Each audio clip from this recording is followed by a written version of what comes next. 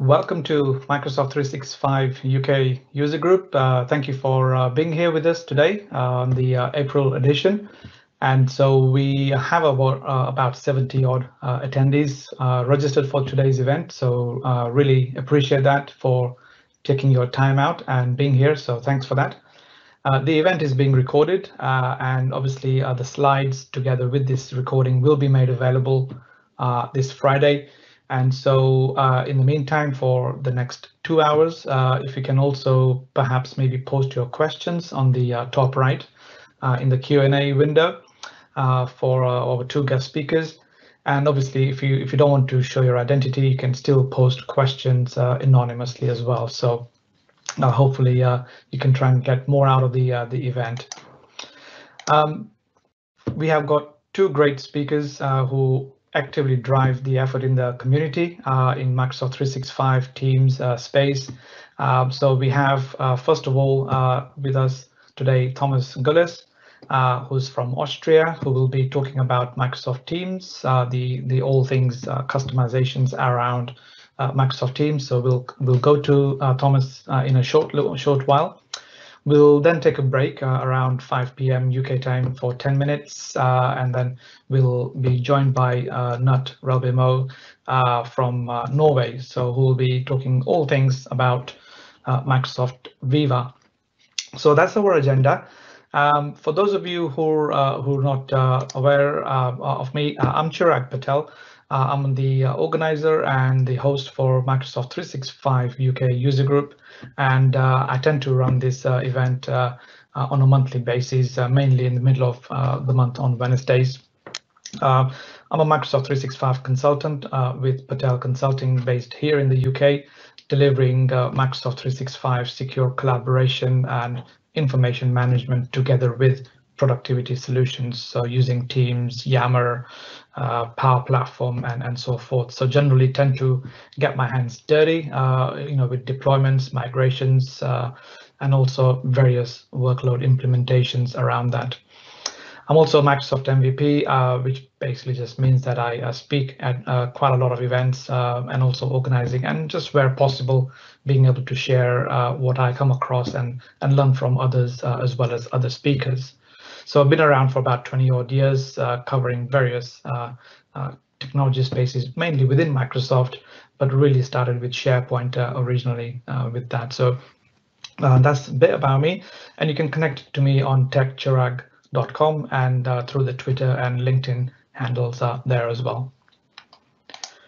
So just before going uh, over to our sessions, uh, for those of you, uh, some of you have registered. Uh, for those of you who haven't, we've got the uh, next month's event already planned, uh, which is on the 19th of May. and we've got, again, their great community speakers, Hans Brender, who's going to be presenting about the all things OneDrive. and then we've got four speakers, basically the, the, the PNP uh, and practices, uh, SharePoint and Teams, uh, Microsoft uh, community crew, uh, who will be basically talking about how to basically bring value to yourselves uh, when you're working with Microsoft 365, SharePoint and other solutions, how to use the open source technologies there. So really looking forward to that next month. And then obviously you've got a few URLs there as well. So meetup.com forward slash M365 UK is the is the meetup site for getting uh, latest for all the events and updates. But also um, you can get access to the slides uh, and the, the URL will be posted in the Q&A uh, soon. But also if you haven't already, uh, then you can head over to YouTube as well and subscribe to uh, M365 UK uh, channel. And so you can hopefully get the the session recording as well. So hopefully that helps but also uh, as i am always looking for new speakers uh, for variety of contents. So again, you know, techchirag.ag forward slash M365 UK CFS. Uh, you can fill in a, a, very short form. Doesn't have to be a 50 minute session. It can be half an hour, uh, whatever takes fancy uh, for your topic, your experiences.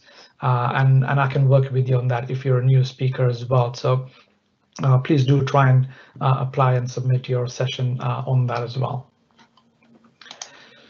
So what we have today is, uh, like I mentioned, uh, you know, great sessions, and and Thomas uh, and I we've kind of bumped in at a few conferences over the years, and I follow his blog as well. You know, some great articles, and you know, very kind of, you know, four-time MVP uh, award holder uh, who started with Office App Services and now does mainly Office development uh, around that as well. So the session about Microsoft Teams here, and as we all know, in addition to Outlook, we all use Teams uh, on a daily basis. Uh, but this is basically taking that to the next level around being able to bring all your other type systems interfaces through the use of tabs, uh, bots, extensions, uh, and really kind of building with the App Studio to bring all those experiences together. So this session uh, is purely all about that and, and really looking forward to that uh, and you know looking for some of these perspectives that Thomas has uh, on offer here. So I guess with that, uh, Thomas, uh, over to you and uh, welcome to M365 UK. Okay, let me share my screen. We are on screen three. so let me start my PowerPoint and then we're good to go. Um, hello and welcome everyone. Um, thanks for Chirag for the organization of today's meetup. Um, I will spend now the next 50 minutes to talk to you about Microsoft Teams, the hub for teamwork as a platform. Hub for teamwork, you probably already heard like a thousand times uh, through the great work of the Microsoft marketing department. Um, today's yeah, priority is more to look at it as a platform. Um, was the same tagline a couple of years ago, like SharePoint as a platform. Now we transfer our knowledge somehow to, to Teams and look what's possible to integrate all our great third-party systems to Teams. Um, this is actually the ego part slide. We're going to skip that just for reference. If you want to reach out, I'm normally doing sessions together with my colleague Stefan, so I'm way too lazy to update my slides every time just a slide to connect to us. Um, and let's go into the session. So hello again, that's me, I'm Thomy. Um, yeah, I'm working as a team lead for modern workplace solutions for a company called Solvion. And the slide before has all my credentials, but let's go to the topic. Um, Teams as a platform. Um, if we think about Teams, um, we have a couple of ready-to-use applications out of the box. We all know this down there. Those, uh, yeah, out of the box Microsoft 365 services. Before that, it was called Office 65 with Word, Excel, PowerPoint, OneNote, and all the great stuff coming out of Redmond. And if you look at your Teams store and your administrator actually opened up the Teams store to third-party applications, you already have like around 820 uh, solutions out there from great companies like Adobe, Trello, uh, Atlassian with all their products around Jira and Confluence are in the store as well. And what we want to talk about today is how can you as a company or as an ISV get your own solution into the team store and what options actually are available out there to extend teams in certain ways and get a better connected experience of all your services within the modern workplace defined by Microsoft solutions. Um, to do that, we have two basically yeah, high-level approaches. Um, as I said already, we talk about two different angles today. The one is where I say, okay, I create a solution that will be only available in my client tenant or in my own tenant. So something for my company, for my department. And there's the other way also that I want to create a solution that should be deployable or distributed to the Teams slash Office store. So I create a solution and you can go in your app studio or in your app store and download my solution. So different focus, different target audience. Um, to be honest, most of the time today, we're talking about solutions that are for my organization. So we talk with clients and they want something for their HR department. We talk with clients and they want something, a sales assistant, for example. So really targeted to uh, enterprise developers. Microsoft, of course, also wants us to create applications in a, in a broader spectrum for the App Store, just to get the platform uh, more used and more, yeah, interesting in terms of what's available. as I said, many companies already did that, and I know of quite a few startups at the moment that will take uh, advantage of the, I think it was 115 million daily active users in, in, in Teams at the moment. So this is, of course, a big wave. Everyone tries to ride in somehow. Um, what actually uh, is available for us to create and what tools uh, are used basically to do that. Um, the circle here defines um, what we can create, apps, personal apps, bots, messaging extensions, task modules, connectors, notifications. We will walk through all of those in the demo part. Um, and what are the tools or what is the technology uh, we use um, to create those extensions? Of course, top there, Microsoft Bot Framework. That's basically an SDK that you need to create your bots. So that's something that is not really uh, only a Teams thing. You can create bots also outside of Teams. You have different channels. Teams is just one channel. But of course, it's great that we can make use of what the bot framework uh, team um, deploys and yeah, makes available for us and reuse this technology also in Teams. Um, tabs, personal apps, you normally use just web technologies. I think the icons over there is JavaScript, React, and Angular.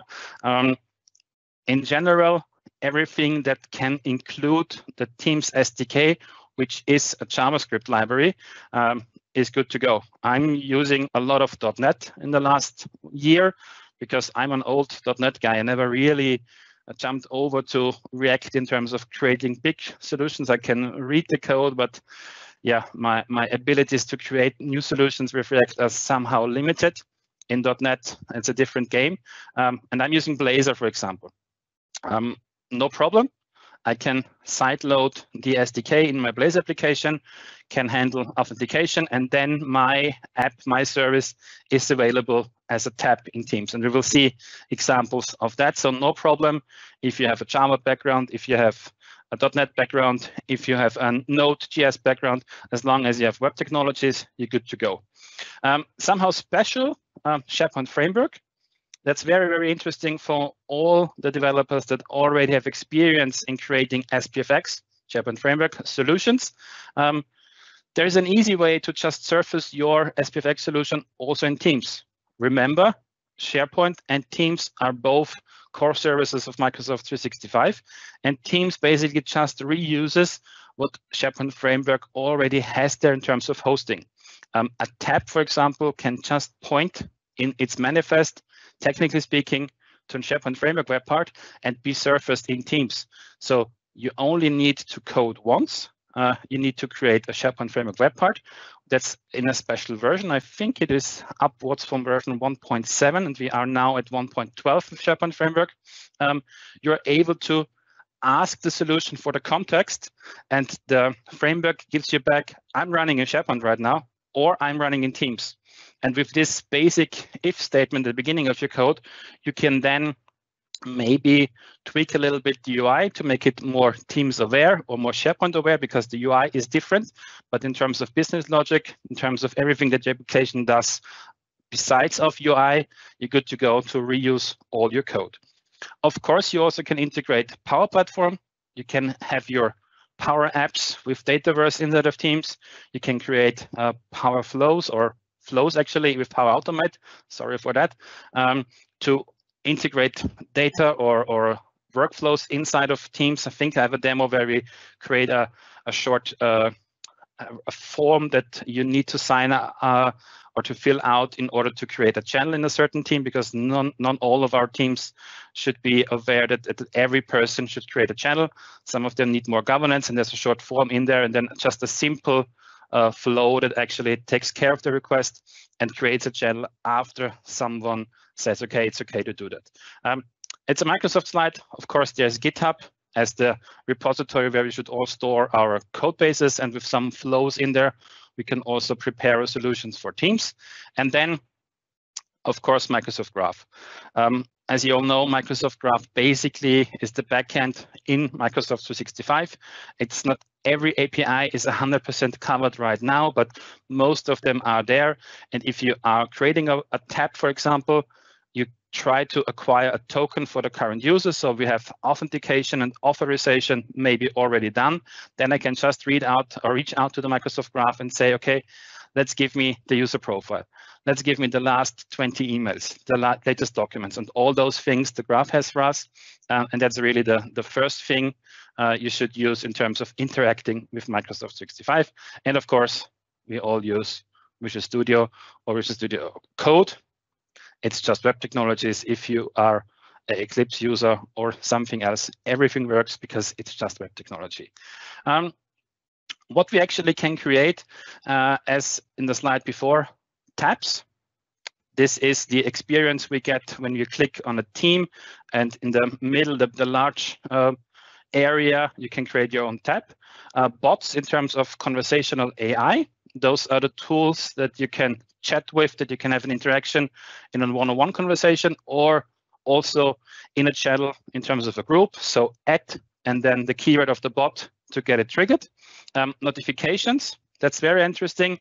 Um, that's I think still in a, in a in a beta endpoint phase, but how to get your own service, a third-party application, your AIP system, your CRM system, whatever you use to make your modern workplace uh, complete, could be able to just send a notification to Teams. So the bell icon uh, gets a badge with one there, and this just a notification. So not a bot, but just a notification. Um, then we will see messaging extensions, how you can extend uh, existing messages with in two ways. One would be that we say, okay, we have, let's say, a message in a channel. We want to reuse the information that's in the message and want to hand over information to a third-party system or the other way around. We want to create a message. For example, I will talk to my team about a certain backlog item in our Azure DevOps environment. I can click in the bottom to message extension, search for the said backlog item and get a nice reference in terms of a card. My conversation gets enriched with information of the card. I just say, hey, hey team, have a look at this and that, and there is a hyperlink and then I can everything there. So message extensions in two ways, data out of Teams and probably just enrich conversations inside your Teams environment. Um, same thing basically goes for connectors and webhooks. It's a little bit more basic than messaging extensions, but you can also use a webhook to push data out of Teams in a different system. And we will see uh, a short PowerShell script uh, just to mimic how it works when you want to have just a like a hole into Teams, into where you push data through with a nice adaptive card. And that's basically just a web request that you uh, set up in a different uh, solution very, very easy without the need of deploying a bot or a tab or something else, just a card that gets pushed to Teams. Again, Microsoft Graph that backs the entire experience in terms of reaching out to Microsoft 365. And then, as I said before, basically two different main audiences enterprise developers focusing on creating solutions with these artifacts deployed to their own tenant or to their client's tenant, and then ISVs and partners creating solutions that we all can use. Um, important also, of course, the role of, of enterprise administrators. And in terms of teams, uh, we have the availability of different policies, uh, app policies and setup policies, uh, different um, in short is that uh, an app policy, you can basically define permissions uh, for all your apps in the sense of that you can say, okay, out of the 800 apps in the team store, I trust 10 of my selection and I say, okay, these 10 apps are available in my tenant as well. Um, that's very important in terms of GDPR. Um, not that those solutions out there are bad or anything, but basically, if you think of Jira, if you think of Trello, it's just another software as a service product that you can integrate into your existing workplace, and it should be somehow managed and under a certain governance or yeah regime basically to make sure that everything is okay and everyone in IT actually knows uh, what tools are used. That's why most of our customers are very careful in allowing different applications. And then we have the app setup.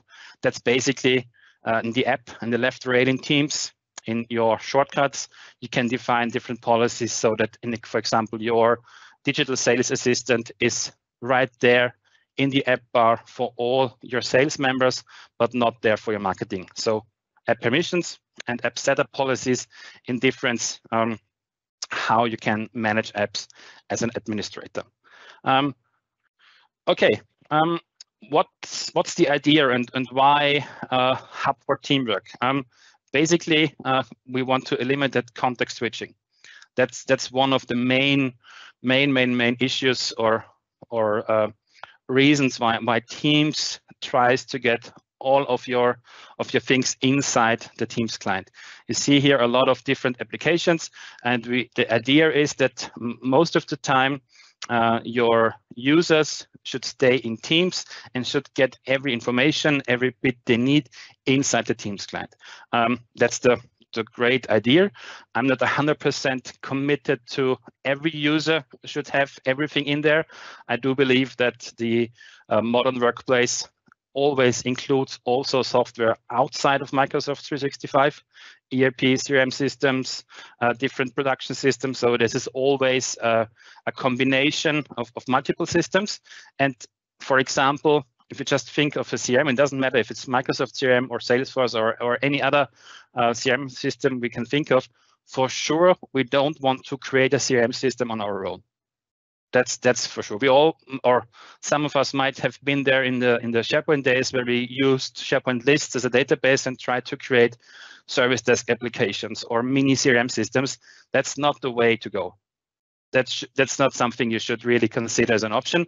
Um, so we have an external system, and the idea now is that you use Teams in a way of that you say, okay, of my external system for from for my role for example i'm not a sales guy but i do need to uh, do certain pre-sale tasks but i don't want to open crm to be honest it's it's way too much for me it's a system that I, i'm only opening every let's say couple of weeks and then i need some time to to find my way around why not create a short extension in teams that gives me the the, the tiny piece of data I need to do my work out of the CRM system right inside of Teams.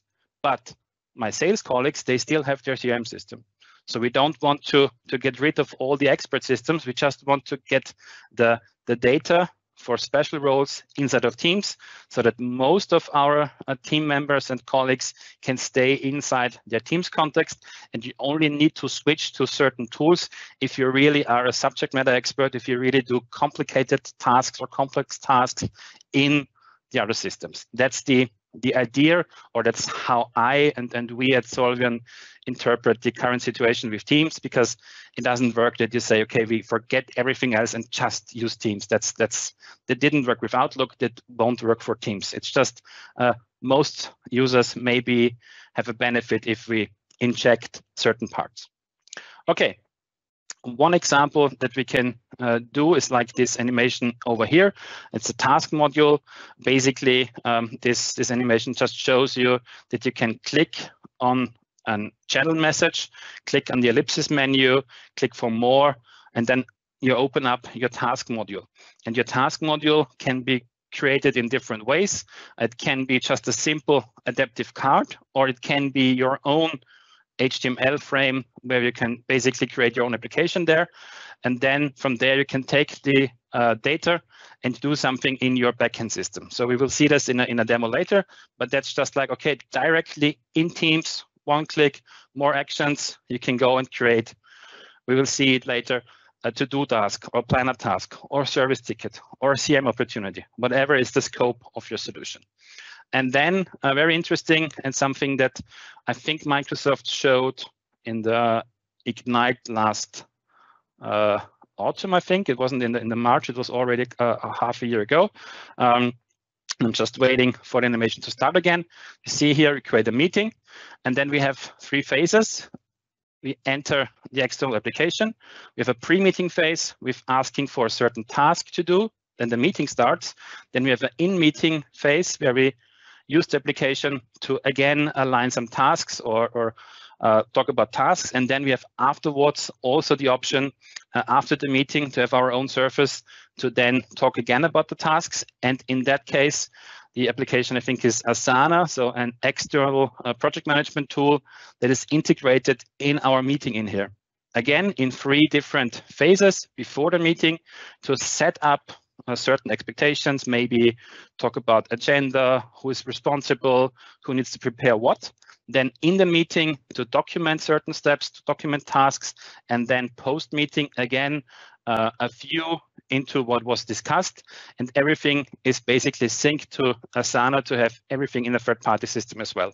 You see here just inside the meetings, a click and you have a, a fixed uh, column to the right of your meeting, like you have now for a chat, for example, same window size, where you can have your own application in there.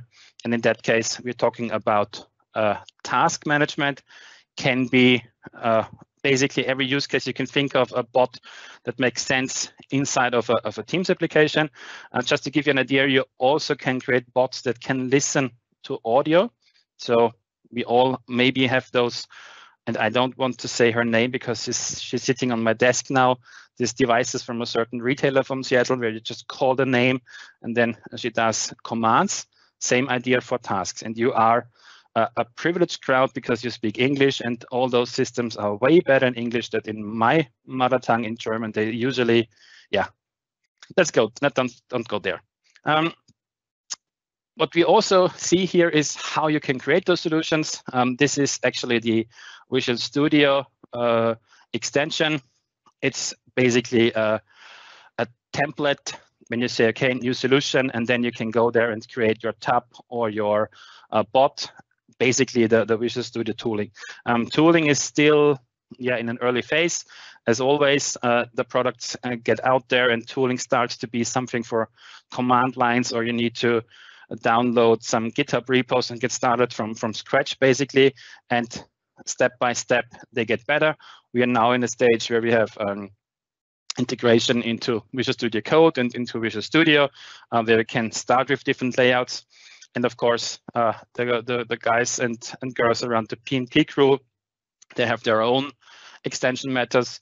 If you used to create SharePoint framework solutions, you know uh, the Yeoman generators there, and there's also Yo Teams from, from Wictor Wilén, a great solution to get you started with scaffolding projects for um, node development, for tabs, for bots.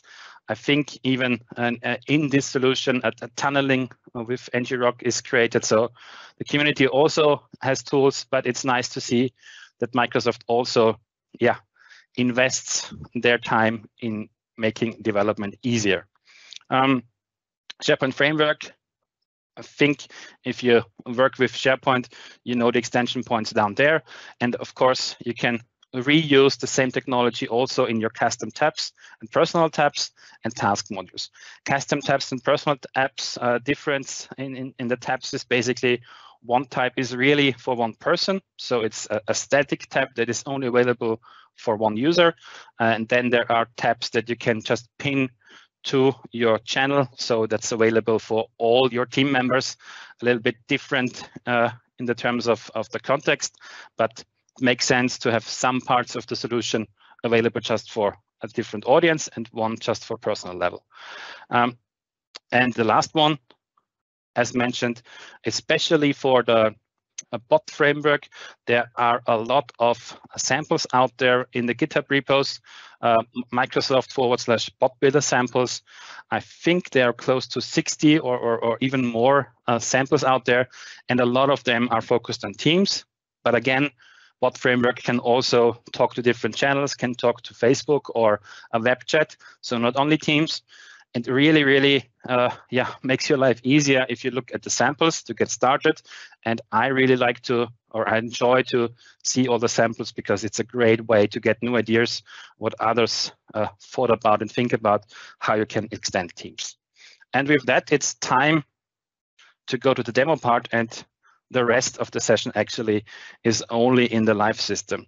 Um, for that, I'm gonna change my camera for a second and I will open up.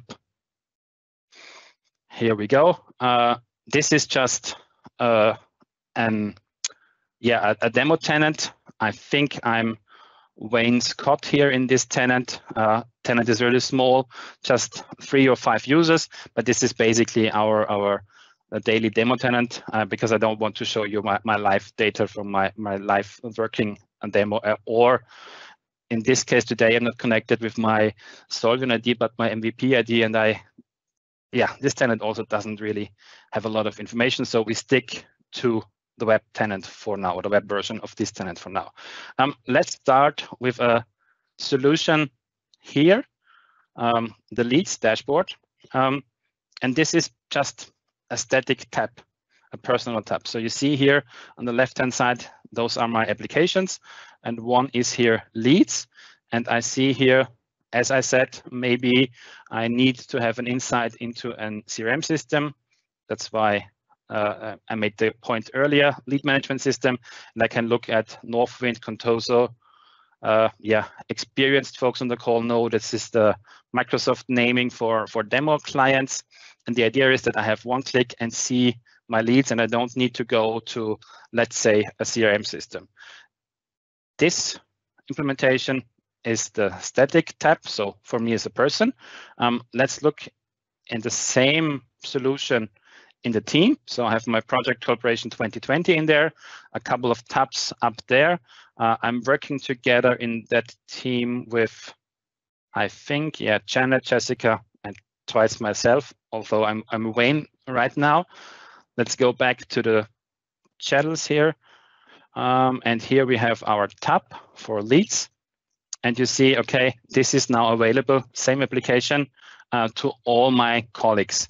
I can make that aware of, okay, who is the current user and show different uh, tiles here. But the idea is to make the difference between, okay, this dashboard now is available to everyone inside of my channel, inside of my team.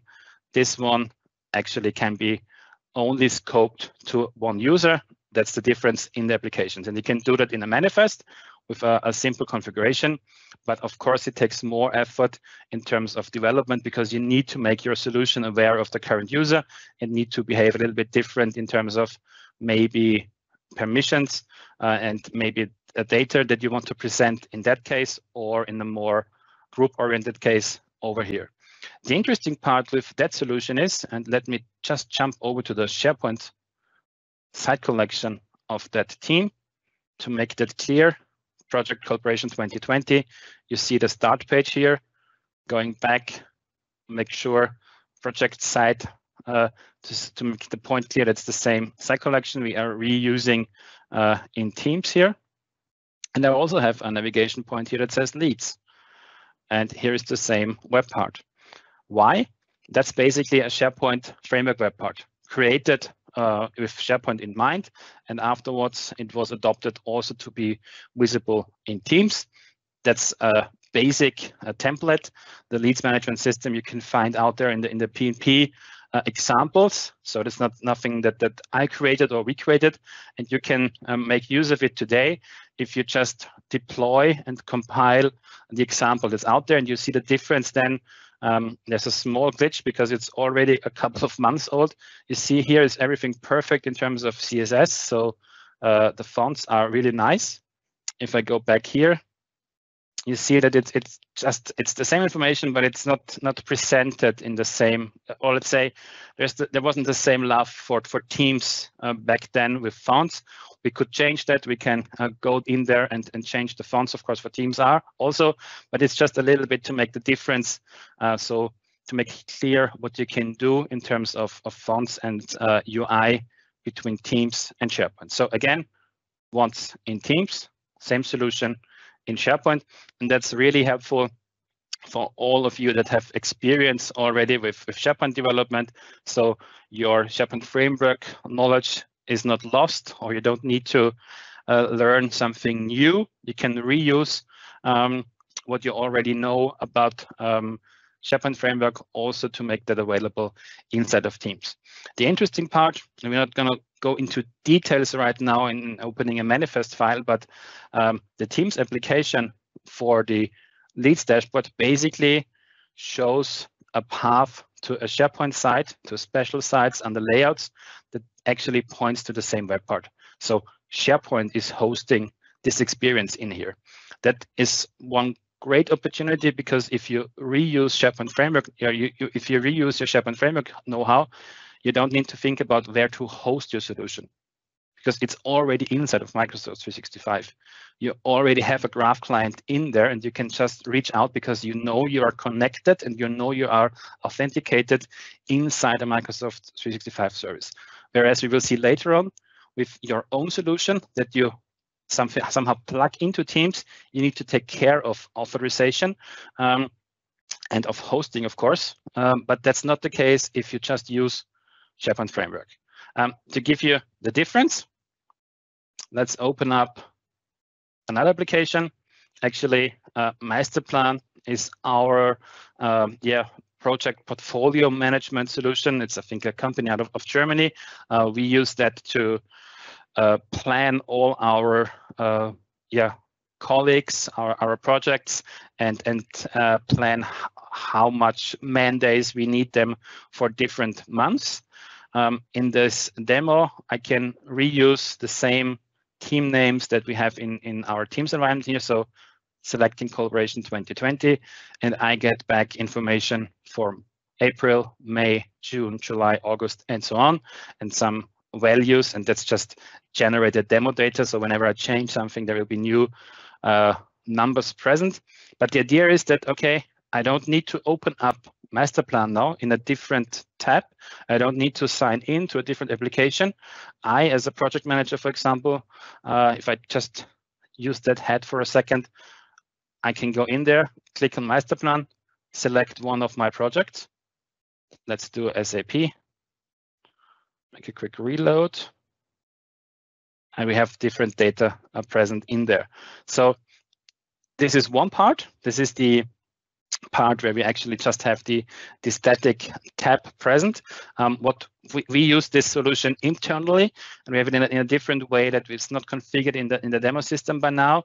But just think of okay, um, if you add, add a tab to a page or, or to a team to a channel. Um, let's open that for a second. You see here our um, custom solutions. And what doesn't matter what, what you click there, you then enter in the configuration phase. So you have a configuration page of your tab where you say maybe, okay, for that instance in that team, I want to add a project number. I want to add a customer number, some some basic uh, data we want to act on in our solution. Um, this gives us internally the opportunity to use this inside of every team and I don't need to select a certain team or certain project because it automatically knows, okay, I'm living in there, someone when uh, starting or deploying the application configured my project number, one click, and I have all my plan data available inside of my project. So this is this is the idea. Um, I don't need to step out to somewhere else and just go in there and then have everything inside of my tenant. The special thing here is if I click on this yeah, globe icon over here, this pops out. And let me just scroll it down a little bit. You see the same application, but you see where it's hosted. You see development, Solvion, blah, blah, blah, blah, blah, Azure Websites.net.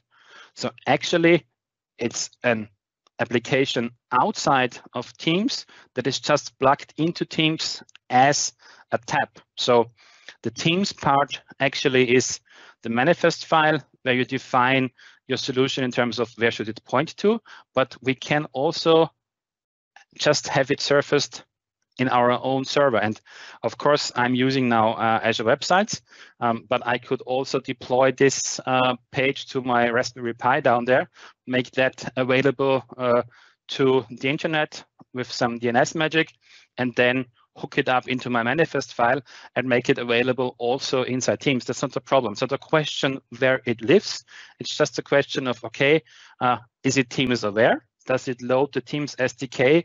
And with that, the possibility to make me aware of the current user. And then I'm good to go because with the current user, or to be more precise, with the context of the current user, I get uh, your email address. I can then reach out to Azure Active Directory and get maybe a token to a certain application. And with that application, I can then ask the graph for uh, your profile picture, your profile data, make my app more personal because I know you now as a user, and then go on and really, um, yeah, basically do my my all my features, but in a way of I'm authenticated, I'm authorized, I know who I'm dealing with. Um, and again, that's what what uh, all the vendors do. It's just a, a, scaled web application that is connected to all different Teams instances. And again, this here, it's a Blazor application. So you don't need to uh, create everything in Node. Also, many examples, and if you have a Node background, please do so. Um, it's it's not like uh, yeah, should I put it right? Uh, I don't want to get this in a, in, in a way of okay. Uh, somehow it feels like these tech decisions. Are you a Microsoft guy? Are you a Linux guy? Are you an Apple guy? Are you a Node developer? Are you a Blazor developer? It's way too religious for me. It's just a tool, and I like that tool better because I'm faster with that. Others may choose different. Not a problem because we all can uh, surface our application inside of Teams. Um, another example of an implementation of a SharePoint web part, I think it's down there. Let me check if I click on the right button. Yep, this is here. Um, this is something we created for for customers also um, with yeah the, the decision that uh, the Microsoft Planner uh, doesn't have any uh, nice uh, overview like we all used to have in, in, in SharePoint task lists with this Gantt chart. And of course, project managers love their Gantt chart, but no one actually uh, wants to pay for the whole project suite, or at least in, in my experience, a few customers that go for Microsoft Project, most of them just want a project file with a Gantt chart.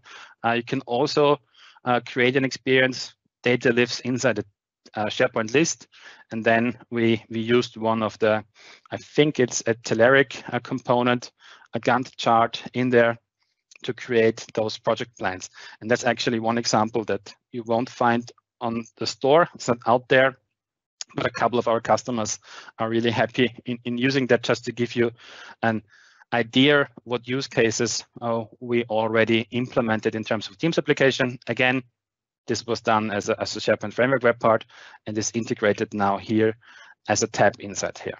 Um, but let's go a little bit uh, further in terms of integration. Um, let me open up a total different solution. Um, and this is just a, a, web page. And for for this, um, yeah, for this demo part, let's let's just think that the the the use case or the the idea that we want to get across is that we as a business we are a, pizzeria so we create pizza and pasta and we of course we have a web page uh, with all our yeah with a great story I think it's Lorem Ipsum, with our best sellers in terms of pizzas and basically our menu. And then you can go in there and order uh, something uh, for lunch, for example. How can you order there? Um, what about you just use a bot for that? We have here uh, Giuseppe. This is uh, a bot, and I'm just for the for the sake of the time, we just have a couple of minutes left. So I just want to show you what we have there from the demo from yesterday. Uh, I can talk to Giuseppe and say, I want to order Pizza Hawaii, no problem. And I will get the information back.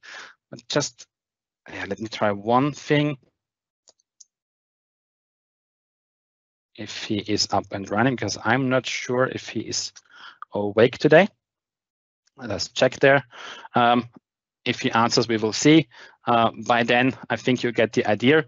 Um, I can order a pizza in there and ask for uh, yeah a, a, nice menu for lunch or for dinner doesn't matter and the idea is that i have my pizza factory in here and let's get rid of everything in here for a second clearing my tables in here. And as soon as someone orders something to move to orders uh, clear order table um, it would pop into here in my orders. And then I can go further if I have my orders there.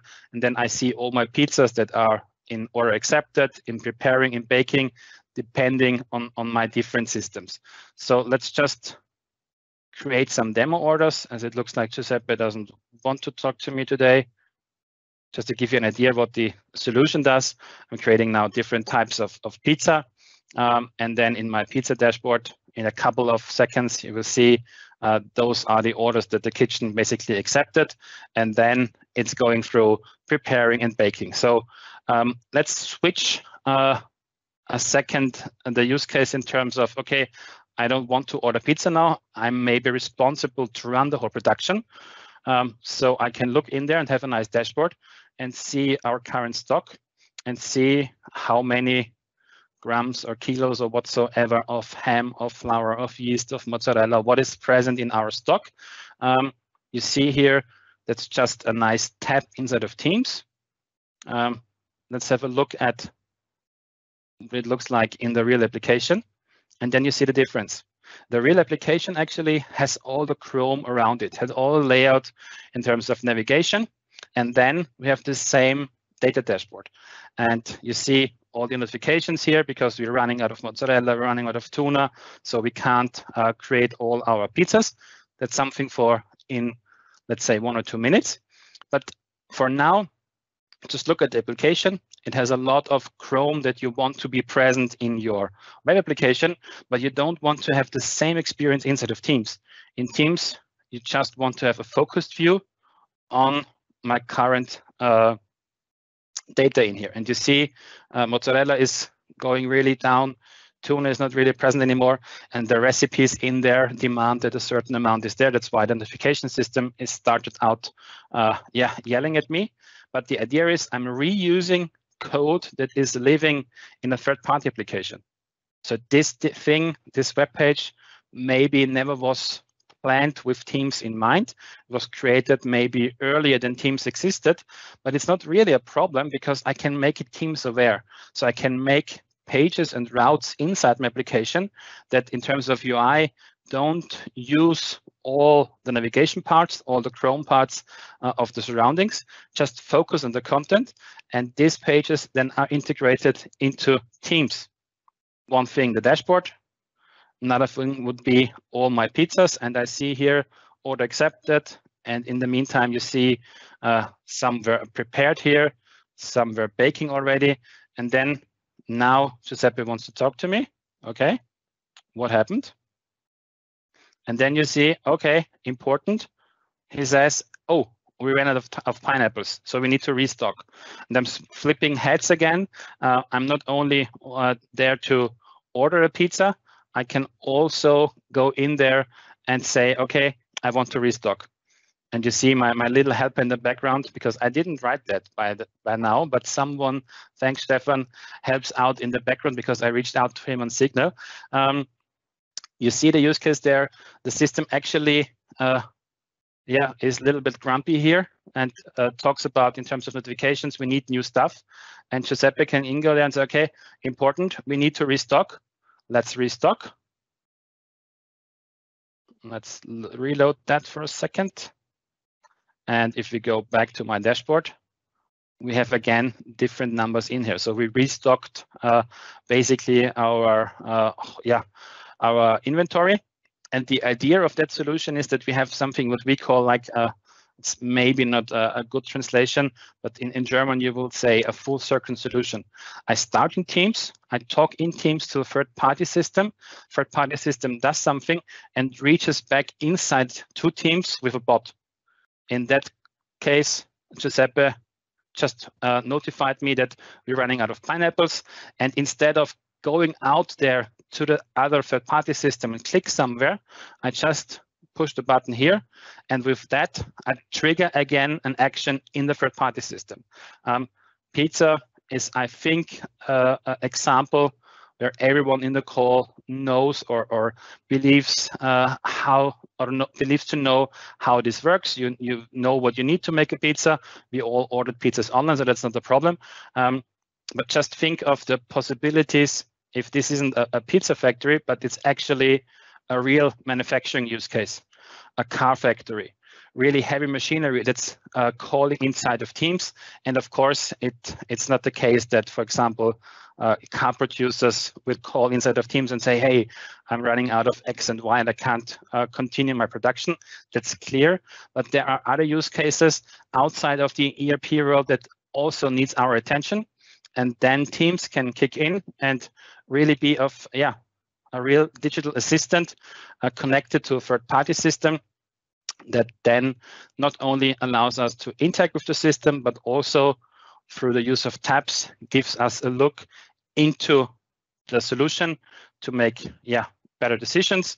And just to have a look uh, into our third party solution again without the need to switch to said third party system and to close the demo uh, we again have this here combined as a static application in terms of we have a chat and we have different tabs deployed to our chat bot as well. So the team solution is not only the chat bot, but it's also a tab, uh, in that case, actually three tabs that uh, deliver the experience we want.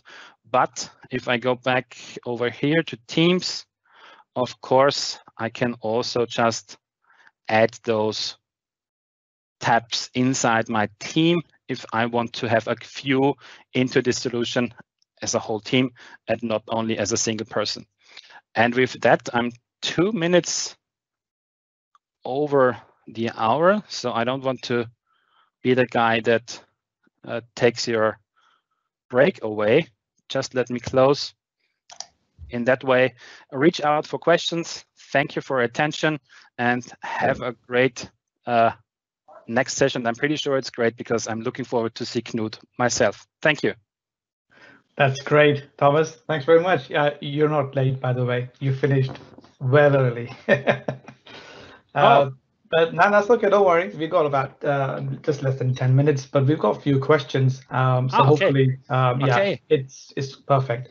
That, so, that, that, was my, my mistake. I thought I, I need to finish 10 minutes before. No, nah, that, that's okay. And I think, look, if you need to finish off, by all means, uh, you can show us other bits and pieces. Uh, but uh, just want to say now, look, you know, thanks, uh, thanks for being here at M365 UK, and uh, you know, for kind of taking uh, your time and uh, putting the effort to to be here uh, presenting this session. So I'll probably just let you maybe have a couple of sips of water or something, and I can probably just read out the questions to you. Um, so first question, but well, it's, it's more of a compliment. I think you know the fact that your presentation style and you know I believe you're using OBS, uh, you know, yep. Andrew Duran really loved it, and I liked it too. That's that's really cool. So uh, well done. Thank you. um, okay, so we got a question. Um, we have somebody who is a project manager with experience in software implementation and digital transformation, mostly mostly within the insurance industry. Mm-hmm. and really uh, the, the, the the person here is looking for uh, expanding their their project management experience uh, in the cloud implementation and particularly around Microsoft 365 and and Azure implementation. Um, what's your response to that? Because I know it is a huge platform that consists of other yep. platforms. yep, yep. Uh, it's it depends on the experience. Um, in the experience, uh, software implementation, uh, and I, I, see the question before me. Um, I, I myself, I, I started with with SharePoint, and I think let's I, I, don't I'm not good in, in guessing the years, but let's say like five years around, uh, the cloud really was also getting bigger and bigger over here in, in Austria.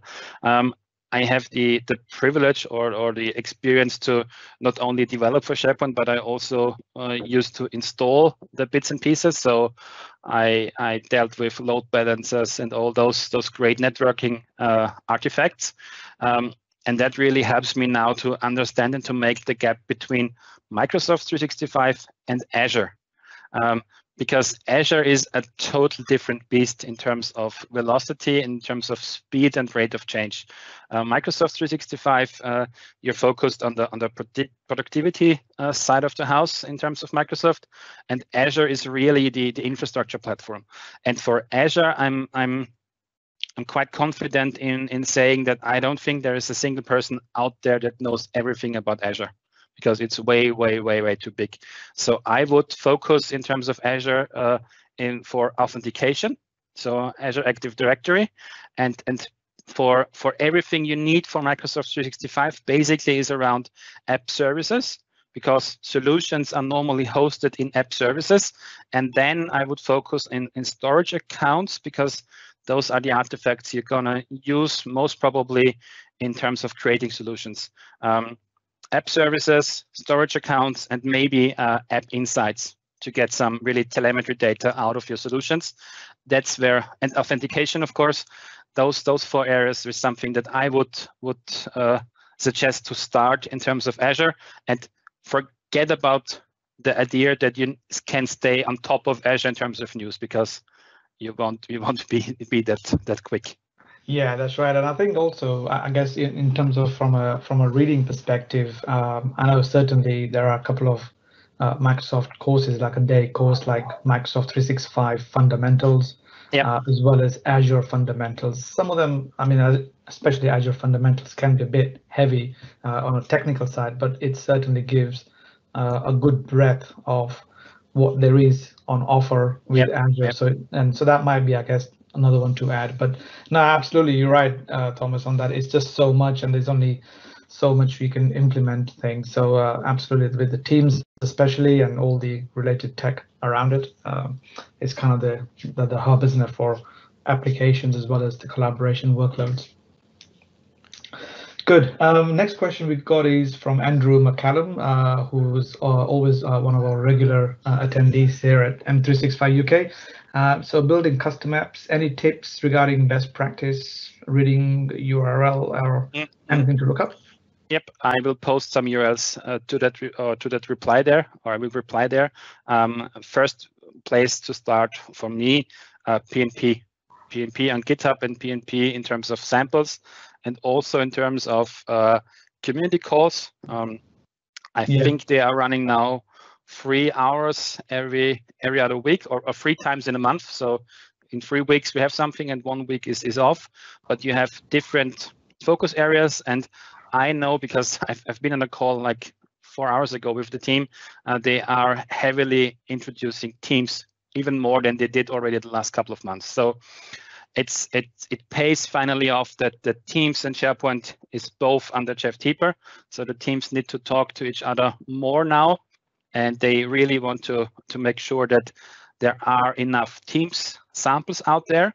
Um, and in terms of samples, just a, a short notice uh, please look at the date if you find a sample because Teams is out there since I think 2017.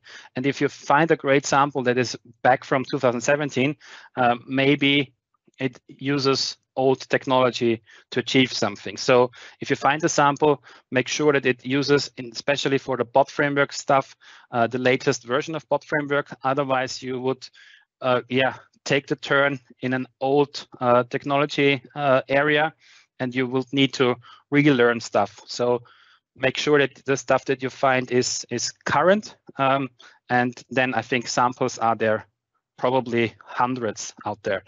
Just it's it's it's getting to the point where there are already too many samples, and we need to make sure that we have like a path through the samples. But I will will answer with the URLs in a couple of minutes. That's great. Thanks, Thomas. And I think that's uh, that's pretty much it. This uh, uh, for the questions uh, we've had. So yeah, good questions there, and uh, you know again, great session and demos there. So uh, thank you for that, Thomas. And uh, with that, uh, what we'll do is we'll we'll take a a break. And so what we'll do is basically I'll kind of just post the link in the in the in the window there. But essentially. Um, uh, the feedback link is there. So, uh, you know, if you can give feedback to Thomas. Uh, welcome back to M365 UK. Uh, I'm Chirag Patel here, and uh, we're into our second session uh, for the M365 UK today. And so once again, thank you to Thomas uh, for presenting a brilliant session on Microsoft Teams apps, customizations, and things to think about. And so uh, we now have our next uh, speaker, uh, Knut uh, and I've known him for many, many years. In fact, he was uh, he was the first session that I went to when I wanted to learn about Office 365, and this was like back in 2012, 2013 uh, in the UK conference. So I've uh, been following him since then uh, and really kind of drives community efforts throughout uh, organizing and sharing events. But the session that he's going to present today uh, for us is, uh, is, is obviously the brand new category of product from Microsoft, which is Microsoft Viva. And you're most probably already familiar with know, a lot of sessions and a lot of content being going out there. Viva Connections got released just last uh, few a couple of weeks ago, and so you know there's a lot going on. So every perspective is unique, and so we uh, are really grateful for him to be here today at uh, M365 UK to really show and tell us really about Microsoft Viva. So uh, with that, um, I'll hand over to Knut. Over to you. Thank you, Chirag, and good to see you, man. And I do as well remember that conference really many, many years ago uh, in London. Uh, it was uh, one of my first conference overseas, to be honest. So uh, so, uh, and I think I had the the last session of the day or something like that. So I was just super happy that someone was in my in my room. So I think that's why we made a special connection at that point in time because at least I had one friend in the room, you know. So so that that was good. So let me try to share my screen and uh, see if we can get these things uh, working. I'll share screen number one. So please let me know if you can see it. Yes, I can see it and. That's yep, all good. Great, perfect. So yeah, so uh, for the people that doesn't know me as well as Chirag and to to Thomas does, uh, or Thomy as we call him, uh, I'm Knut. I'm from Norway. Uh, I have been uh, in this uh, field for many many years, and and you know the challenging thing is that you always need to learn something new, and you kind of even as an MVP, as myself and and my fellow presenters here today, we are all kind of always having to find something new to talk about you know because if not there will be someone else talking instead of myself. So so you have to always kind of push ourselves to to learn new knowledge as well. And and that's kind of where viva comes into play. And uh, this is a totally brand new session. So please share any kind of feedback that you have with me on on the topics uh, and uh, because i do want to improve this as we go uh, so if it's good bad just let me know this is my Twitter handle and a little bit more about myself. Uh, I work currently as a freelance consultant for, for Dapt, which is a company based in UK and Norway. Uh, before that, I worked for many, many years, as probably everybody knows, uh, for a company called Valo Intranet that has a ready-to-go intranet on top of uh, Microsoft 365 and SharePoint. So I helped them build their partner network uh, throughout the, the world and enjoyed traveling like crazy. But then COVID came and suddenly we couldn't travel no more. And I got stuck back in, in Norway. Uh, I actually are just about to join a, a new company. Uh, this is something that will be released later on. So, uh, and it will be uh, really interesting and exciting uh, opportunity for myself. So I really look forward to that, uh, and look forward to let everybody know uh, where and uh, where you will find me in the next time, and it will be a big conference because it will be be uh, a vendor again as uh, Valo as well is. Um, so yeah, all my contact details. Please connect with me on LinkedIn. write me an email if you need, or or just connect with me on Twitter. but kind of uh, everybody should know that I'm from Oslo, uh, as also the FAST team and uh, a lot of the, the graph stuff from, from Microsoft is actually happening as well in Oslo.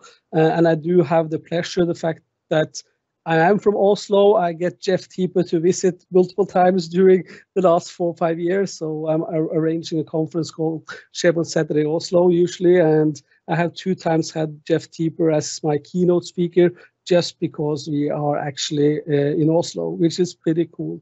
Uh, so here are some pictures. Uh, when, it, when the world will open up again, uh, please come and visit. And, and if you're here, just uh, ping me up on uh, LinkedIn or, or Twitter or, or, whatever, and I will be happy to, to show you around in my home city. Um, and um, I'm living a little, little bit outside of Oslo. That's just the practical things, and it's uh, more affordable. Uh, everybody wants to get as much as they can from their bucks, you know. So, uh, so yeah. Uh, but to the content today uh, is like uh, Microsoft just released Viva, and I'm not going to show you a lot of slides, even if I have like 55 slides or something. I will show you some live demos and actually talk a little bit more around like why should we even consider Viva with all of the uh, the different uh, application that Microsoft is bringing in into Viva. And, and this slide is actually really amazing in that sense because what Viva uh, has the uh, plan of doing is to connect everything inside of your organization so that you will have one place to find find it all. And uh, with that, um, Microsoft Viva is uh, actually four different products together in one. Uh, today, I'm actually going to talk a little bit briefly about Viva Insights. There's not too much stuff I can show you there uh, as of now because I don't have uh, everything set up in, in my environment yet. I don't have all the licenses needed for that, but I will show you actually the things that you can start to use to, today without uh, having any additional uh, analytic license on, on, top of it. So there's a few things there that actually helps me in my day-to-day -day work that I wanted to show you. Uh, then you have the Viva Topics, and, and, Viva Topics is actually out there right now. It was actually released even before the Viva Connections, and you can start to get to use Viva Topics already today. Uh, it's going to cost a little bit, and we're going to get back to that side of the things a little bit later on. Uh, the Viva Learning, uh, they're only going in public uh, preview as of now in, in just a couple of weeks, which means that I'm not going to spend too much time talking about Viva Learning today, since it's a topic that is not yet that easy to start to use. But what I can tell you about Viva Learning is that uh, this is a possibility to kind of uh, integrate, uh, for instance, LinkedIn Learning, Pluralsight, or other uh, companies that is providing uh, learning directly into your uh, Microsoft Teams environment. And of course, with some of these connectors that will be possible to connect to from the Viva Learning, it's going to cost some money to do that. But if you want to have for your customers or for your employees want to set up something that doesn't cost anything, you can actually use what has been out there for some time already, the Microsoft Learning Pathway, a template, site template in SharePoint, and use that one inside of Viva Learning as well. So that is kind of the low cost uh, version of getting some Viva Learning into your organization. And then, of course, we should talk about Viva Connection. Microsoft released that uh, a couple of weeks ago. Uh, it's already out there. You can already start to deploy it. Uh, I was surprised that uh, everything didn't break completely since Microsoft kind of released this on the 31st of March and everybody wanted to try to play around with it. But I'm going to talk with you a little bit about uh, what you need to do to prepare yourself for, for Viva Connections. And uh, it's not that easy as just run the script or whatever and you are there. There's so much more things that you need to mm, think about. Like you need to think about how should that page look like, which uh, web parts do you want to have there, and uh, what type of navigation and all this stuff do you want to have there. So that's kind of where I want to focus today to to kind of not show you how to deploy it because that you can Google and that you can find quickly and easily. And I also have links to that inside of my uh, presentation as well. So um, uh, so yeah, uh, I'll just skip some slides. Uh, because uh, why should you deploy uh, Viva Connection? You know, like why should you even think about that? And let's start with the Viva Connections, and we'll get back to the other ones a little bit later on. Uh, and here, there's a few slides that I need to show you because uh, Viva Connection has come out right now with with the first version of it, but not everything is available there yet and it's also only currently working inside of the web version of Teams client or it works in the desktop client. It doesn't work in the mobile client yet.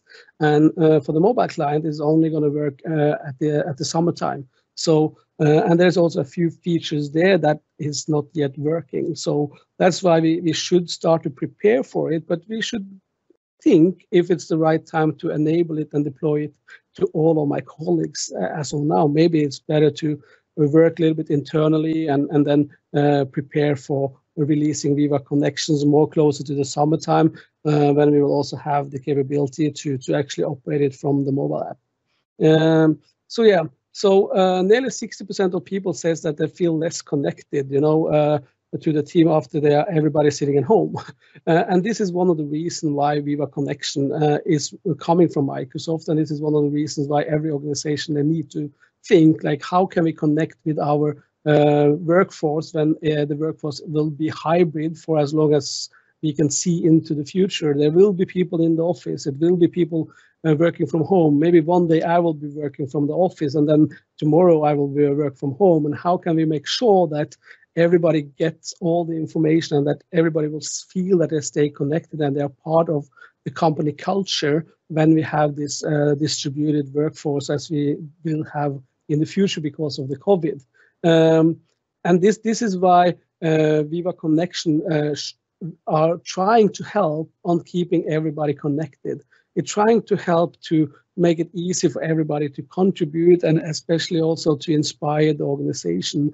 and this is why, uh, especially when it will be available for the mobile as well, it, it, in my opinion, that it's even more important that Viva Connection will be available on the mobile client than the fact that it is available in the desktop client of Microsoft Teams. Because honestly saying, after eight hours in Teams meetings, I'm kind of fed up in sitting in front of my computer, and I would prefer to kind of digest the company information from another device, like browsing it like I browse typically news. I don't browse uh, if I want to find news about some sports or how it goes uh, uh, in the football or, or, or what was going on with COVID here in Norway. I, I really seldomly I do that on my laptop. I'm always doing that kind of browsing on my mobile device. And this is where, where I also think that organizations, they will, want, the users there would kind of want to digest that information in the same way from the mobile device and not necessarily from the laptop. Uh, and this is why it's even more importantly when when the Viva connection will be available inside of the mobile uh, Teams client. Uh, so I will show you uh, quickly uh, some demos here and First of all, uh, I will show you some, some uh, uh, automated slides that I have showing this. And afterwards, I will skip the PowerPoint and I will jump into showing the bits and tricks about Viva Connections as it is right now. But uh, as you will see, there are some different things from the slides to where Viva Connection is actually today. So, so yeah, stay tuned. Um, so this is kind of how everything looks inside of uh, the Teams uh, client. And as you can see, over here we have the, the we have the logo. Uh, so in this case, the the my uh, my kind of uh, site is called Willy Cloud, which is kind of the co company name that I have. Uh, but pay attention to the fact that we have the logo here, which is great. We can pin it. We can control who, who in our organization should get access to this app, and we can of course start to roll it out in a small uh, group before we roll it out to everybody to get some kind of feedback through the Teams admin center where we will do all those policies. Uh, but even more importantly is what you can see over here on the right side, which is called the dashboard.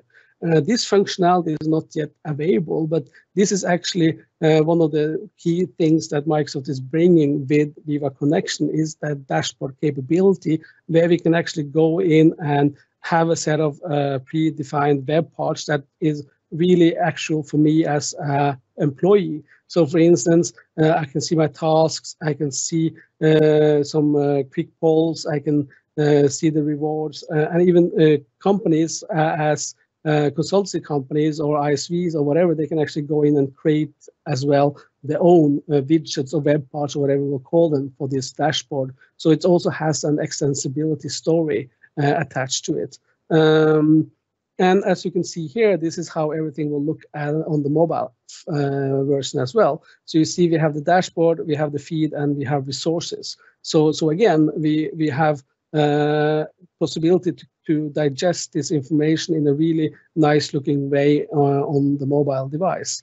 Um, and as you can see uh, over here, we can scroll down, we will see some of the news, we can comment, we can interact with them, uh, and, and we can go and click into them and as you can see, do all those commenting as I just mentioned. And we can easily navigate back and forth, uh, which makes it really, really uh, a nice way for us to feel connected and feeling part of one company, even if we are not sitting in the office every day and meeting at the coffee machine. And here again, we see the dashboard. Uh, we see that we can even interact from some of these uh, these dashboard uh, parts. I can ask for the time off. I can do my tasks. I can uh, ask my leadership questions through through the Yammer integration.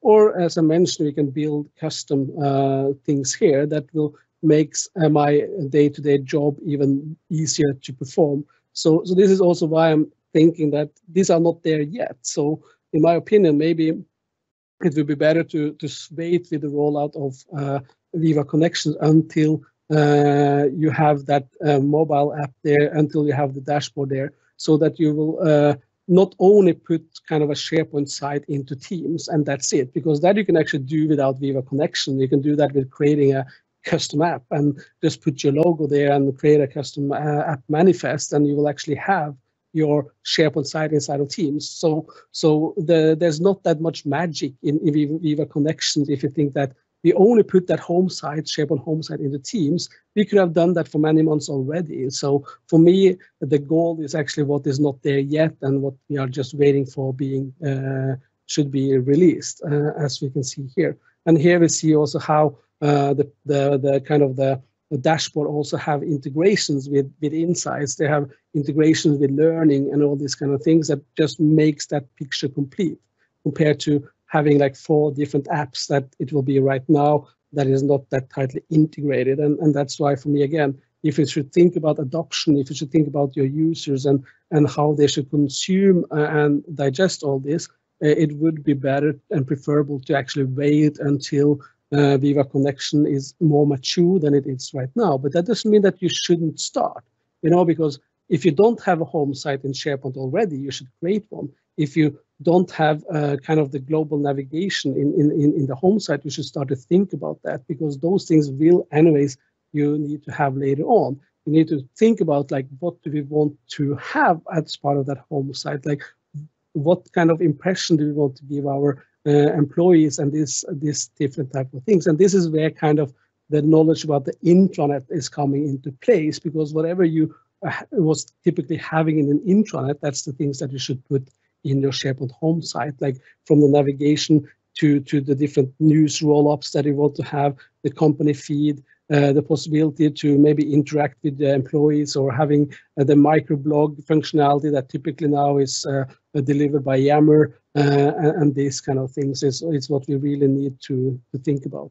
And here we see how the dashboard as well is, is working on, on the mobile phone and having all the capabilities that we we just really need to have uh, on, the mobile phone so we can really easily do our work from from the mobile phone, uh, basically. So, uh, so that is kind of um, the Viva connection, how it will be in in the future. But before I kind of talk a little bit about pitfalls, downfalls, or uh, how to get this installed, let's just jump and, and see how this one can can look like. And I have a few installations here where which I want to to show, uh, and we can take them them one by one. Uh, so, for instance. Um, if I go here, this is my uh, mm, environment where we have set up uh, Viva connections. Uh, you see that we have the logo uh, working nicely, beautifully over here. And this is the reason why I show this one, uh, because I also have a, a, demo environment that is provisioned up uh, from the demos Microsoft.com, where the logo does actually not work that, that well. but here you see my point exactly here. We have taken the site that we have in inside of SharePoint, uh, and we have taken this site and, and make this uh, the SharePoint home site, uh, and any kind of communication site you can make into a SharePoint home site. So, so that uh, the only requirement is that it's a communication, modern communication site, and then you can create it into a home site. The other thing that we have done here is, of course, to to kind of create uh, the look and feel. We have uh, figuring out like what type of message do we want to have on the landing page because this is the landing page of our intranet, so to say. Uh, and this is uh, what we want people to see when they come in and whether we want them to navigate. And we can see that we also have a mega menu over here where we can go and kind of go deeper into the different type of um, departments or different type of information that we want to share with, with our colleagues. Uh, you can also see that in this particular environment, I also have the right uh, application bar uh, or the SharePoint app bar as it's called.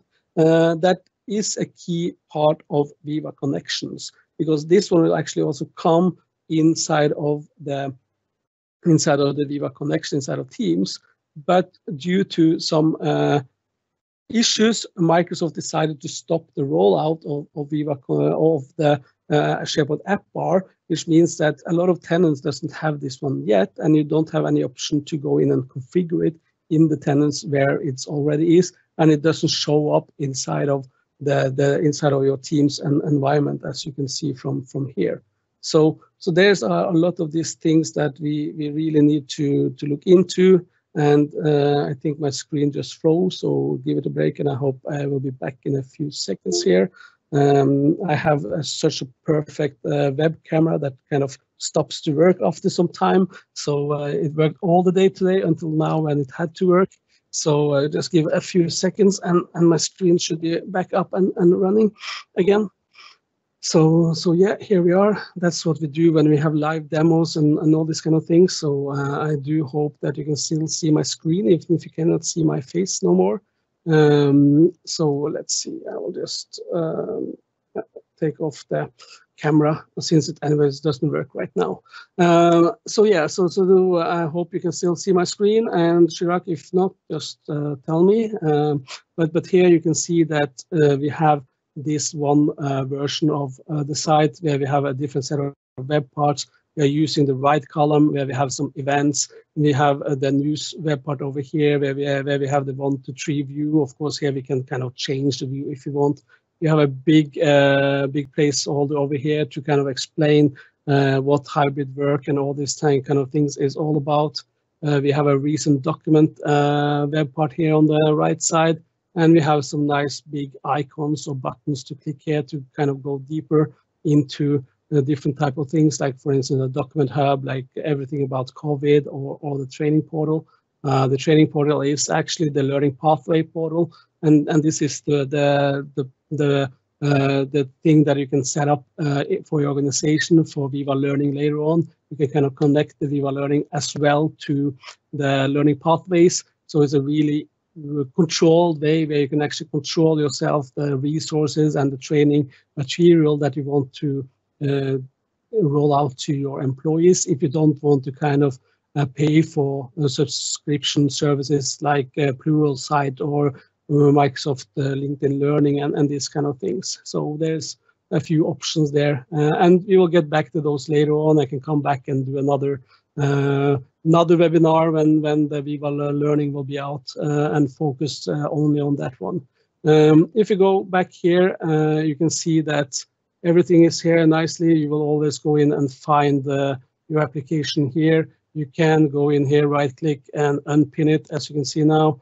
Uh, or uh, you can uh, also take a look at, right now we can take a look at the Insights application because the Insights application is the Viva Insights. So for instance, one thing that you should pay attention to here is that, um, for instance, the uh, the um, Viva uh, connection is uh, a personalized application, so you will not find that one inside of the team store. It is, as also Thomy mentioned before in his session, so this is kind of the personalized application that is inside of your own environment and uh, it's not in, uh, in in the Teams store. But for instance, if I want to search for Viva here, you can see that if I search for Viva, Hi, or, sorry, sorry to interrupt. I think your screen is frozen as well. So okay, that's what I, uh, yeah. I can uh, unshare it and share it again. Thank you yeah. so much. No worries. So, uh, I will uh, backtrack a little bit. So, uh, so yeah, uh, and I hope you can see it now again. That's good. Brilliant. Cheers. Yeah. Thank you. Thank you so much. yeah. So uh, as I mentioned, is that, for instance, if I go to my uh, my team's environment here, uh, right now you can see that I detach uh, the um, hub, as it's called, my Viva connections, from my pinned applications here on the left side. So now I kind of pinned it again, and you can see that it's here. Uh, in the Teams admin center, we can actually choose uh, the priority of these ones, and I will see if I have time to show you that in a few few moments later on, uh, how you can actually put it on the on the top for all of your users and how you can pin it there for for your user, making sure that this is the default application. Uh, but from the inside perspective, as you can see here, it comes up in recent because I added it before. But if we go into more apps, you will see that uh, Hub, which is actually the Viva connection, is actually a personalized app and is not present in the team store. Uh, but the cool thing here is that if I will search for Viva, uh, the insights application doesn't show up, which is kind of confusing. So you need to know that when you want to kind of find the uh, insights application, you just need to search for insights. And there it is. And it's written here Microsoft Viva Insights. So it's kind of not optimal that it, it doesn't show up. So uh, I can go here and I can click open uh, because I have added it before. If not, it will be written added there. And, and, this is kind of how that one looks like. I will just show you this view from, from another environment I have because here it's uh, nothing that shows up, which is makes it kind of not that interesting to show. Uh, but if I will go over here to, to my other uh, environment, you will see that here I can see people that I recently interacted with. And as well, if I will uh, um, be kind of inside of an environment where uh, I, I, didn't have a meeting with a colleague, or if I'm a boss and didn't have a meeting with one of my uh, staff, I will get uh, the question as well here to actually book a one-on-one meeting with one of my colleagues as well. Uh, and as you can see here, uh, I can go here and I can also do like one-on-one reminders. I can do weekly. There's all these reminders that is possible to, to set here as well. Uh, I can also go in here and pin this one. Uh, so it will be actually put here on the top. So now I have it here and you can also go in and just click done uh, and then this one is uh, no more anymore there. Uh, and also if you are invited to uh, meetings and you forgot to reply with a, an RSVP on them, like for instance, a tentative or decline or accept, uh, the meetings that you haven't replied to will also show up here, which is actually really helpful because I tend to forget that because if I have a meeting and I don't uh, say no to the meeting, it's automatically how I, how I work. I already automatically accepted it, you know, because if not, I will let the person know that I cannot uh, join.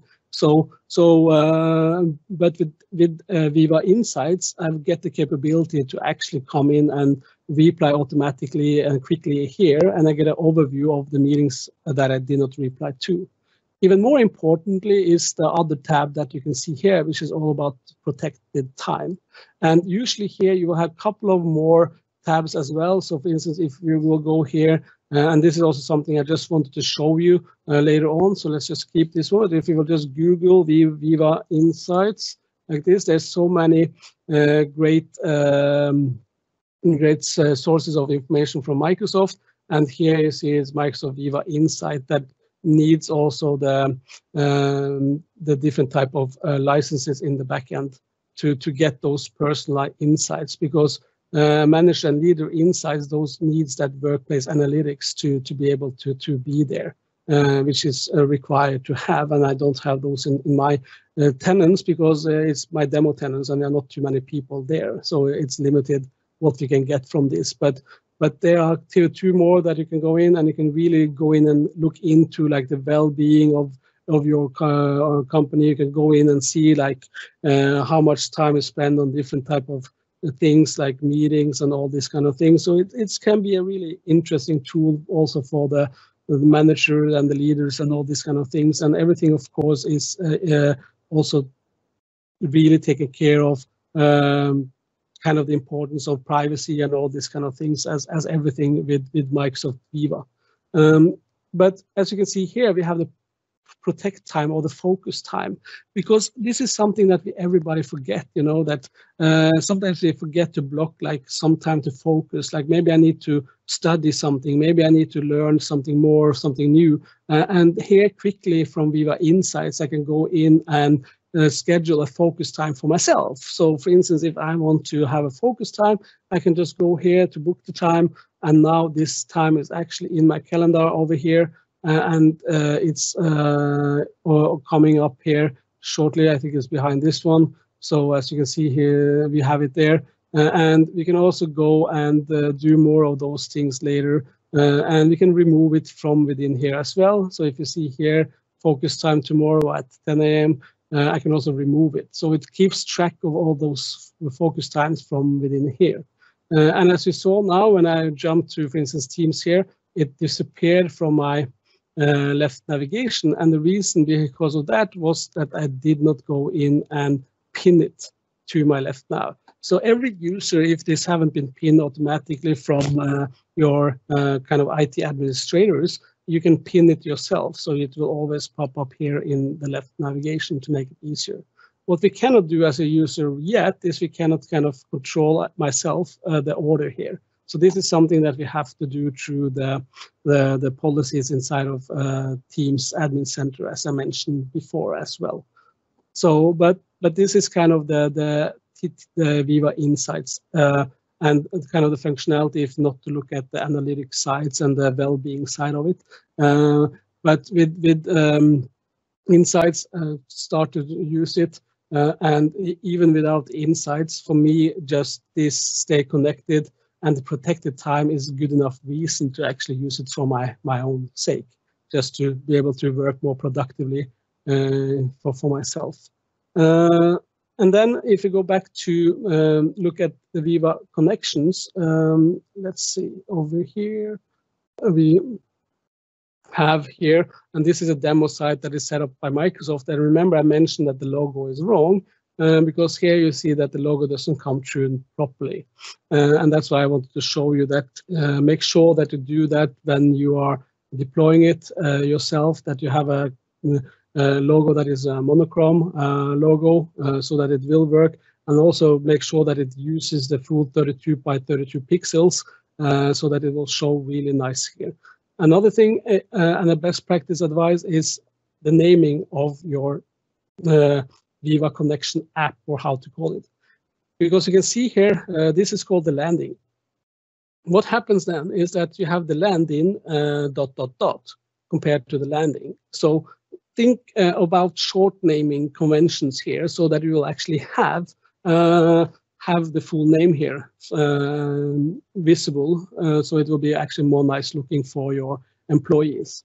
and as you can see here, we have the header uh, we can go in and see, look at the mega menu. Uh, we can click one of them, and then of course we will navigate to, to the page. Uh, again, you see that here it's a SharePoint site that has been set up as the home site. And you need really to think through how you want to build that. I really love to have the right navigation here uh, and then to have typically news on the top and, and then some kind of uh, other type of content depending on what you want to, to have in your own uh, intranet. Uh, I do know that a lot of companies, even if you are using Teams, even if you are using uh, uh kind of commenting on, on, on the pages uh, in, inside of your SharePoint environment, a lot of companies actually do like still to use Yammer conversations for some uh, to some extent, and especially now with the with the new Yammer web parts and everything, it might be still a good idea to revisit if you should use Yammer or not. And you also get the Yammer app here called Communities, as part of the Teams environment. So in some ways, you can do a little bit more, enough, uh, like a little bit more, uh, how to call it, like not so strict things you can put in in Yammer. For instance, one one way to look at Yammer would be like right now we need one place to create like vibes in the organization because everybody is sitting and working uh, at home. Uh, we, we don't meet at a coffee machine no more. We don't interact that much with our colleagues. And actually, uh, Yammer uh, could be used for that because you could actually, uh, if someone is going for a walk outside or if somebody finally is visiting the office or visiting the factory or something like that, you could actually in Yammer post a picture or a video and then get other people to kind of interact with that, kind of creating a little bit the social vibe that is missing in a lot of organizations right now. We also see that this organization, they wanted to have the footer here to also show kind of the the outside of the company feed to to the employees, which is I think is a really good best practice uh, advice. And you see again uh, that we have some navigation to different type of sites here, and also the type of recent documents uh, and these things that we have here. Um, so, so that is kind of the, the Viva connections. But if I will go right now, and I'm logged in with my admin account here. So uh, if I will go, uh, actually not the admin account, um, but I will, let's see, let's go to the SharePoint side of things. Here we find admin, it's hidden by some reasons inside of Teams, I remember. So, so if we go here to, to the admin center, uh, we can go to Teams admin, and inside of the Teams admin interface, this is where we want we need to go to kind of deploy the Viva connection application itself. This is where we need to go and, and do that. Uh, I will skip the tour uh, and here we can go and look at the Teams applications.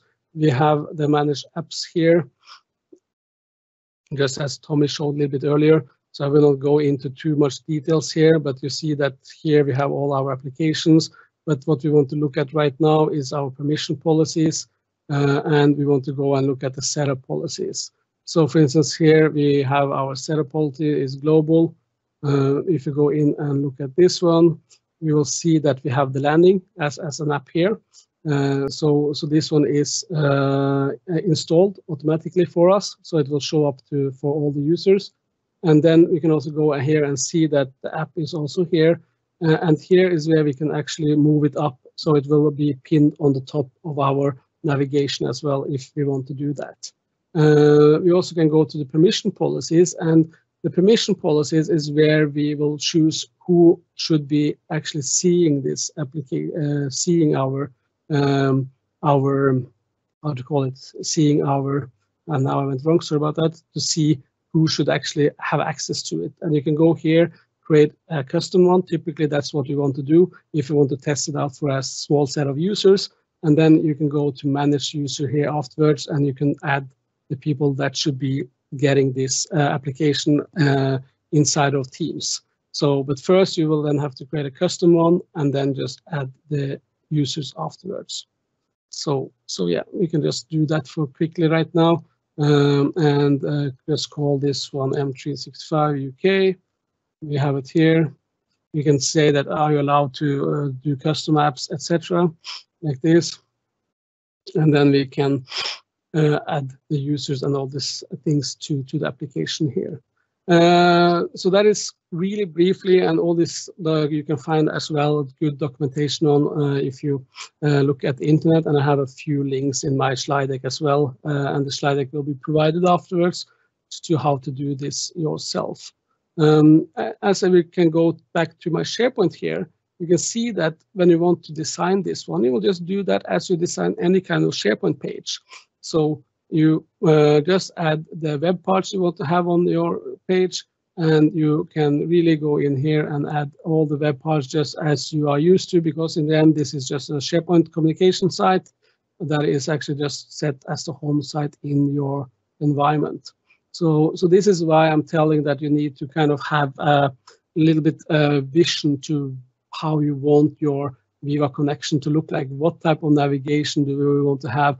Uh, what you want to have on the landing page. Uh, and if you want some UI um, kind of uh, Im impressions or UI help, uh, the lookbook of uh, Microsoft would be the right place to go uh, for now, but later Microsoft will also provide easy ways to deploy the different look and feel within the SharePoint and within kind of the gear icon here, which, which will be really helpful. But, but right now, the best place to to do this is just to go to the lookbook of Microsoft, and I can provide that link as well. Uh, let's just quickly jump back to my slides and um, as I uh, I will not go through this one, but uh, very deeply.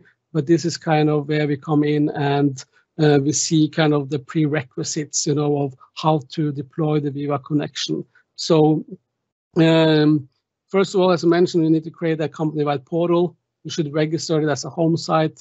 The global navigation is not yet there. It's going to be later out. Um, you need to uh, have a 192 uh, on 192 pixel color icon uh, for the app catalog. And then you need to have a 32 on 32 pixel monochrome icon for the app bar. It has to be monochrome and uh, you should use the full 32 pixels. So you should actually uh, have it all the way out in the edges to make it as good as possible. So this is something you just need to try and fail a little bit with, uh, we have all been doing that. Um, and then um, uh, references, I will just skip, you will get those later. But the last few minutes I want to spend on, on, on Viva Topics, because as I mentioned already, Viva Topics is already out. But what you need to be aware of is that Viva Topics is going to cost you. So uh, currently, it's around four pounds per user uh, to that should use the Viva Topics. You can, of course, control who has access to this uh, uh, topic site, and by this, not everybody in the organization will get access to it. But but kind of the the main reason be, behind this is that people should kind of uh, find the information that much easier. So you don't need to search for it. You don't need to kind of um, spend too much time to find information like every company is struggling with right now. And a lot of company has invested a lot of money in this already. Um, so what kind of culture uh, of knowledge sharing does your company have? You know, because here there's a lot of different ways. Uh, some uh, some companies they are connected, so you kind of you have a knowledge management portal maybe already. Maybe you have some uh, champions inside of your organization that is sharing the knowledge, and other ones might uh, just have people that is have some stakeholders that is kind of doing most of the uh, topics, uh, but it's not that many people that does that. So you need to kind of identify those things. But you know, the most important thing with with Viva topics or any kind of stuff that is similar is that, um, for instance, if you will try to do this in a demo tenant, for instance, you are not going to be able to do that because you need a lot of content to be able uh, to use Viva topics. Uh, so there's uh, you need to have uh, at least 10,000 uh, files or whatever, or pages inside of SharePoint uh, or, or, documents. You need to have a lot, a lot of content there. And you also need to have active people using it uh, because here the artificial intelligence will actually come in and go and um, scan everything. And if you don't have no activity, they have nothing to scan. If you don't have no content, you have nothing to scan. Uh, and this is why kind of the big question is like, does this scale to the largest customers? Uh, eventually, yes, of course they will. Um, is it suitable for a small business? It might be if you have a lot of content and you work with a lot of content. Uh, is it suitable for your personal tenant, uh, like demo tenant? It's not. You're not going to get no content there.